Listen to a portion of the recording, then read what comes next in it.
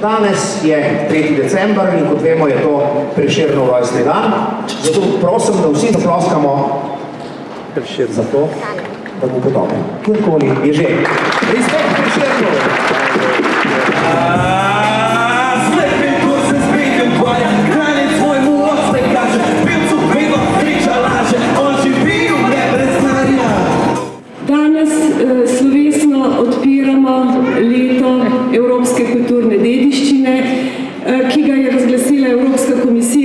Namenom, da opozarja na pomen kulture pri oblikovanju skupne evropske identitete, skupnih vrednot. Glede na pomembnost Evropskega leta kulturne dediščine in glede na pomembnost kulturne dediščine me posebej veseli, da se temu praznovanju, ki bo trajalo celo leto, priključujejo tudi drugi, tudi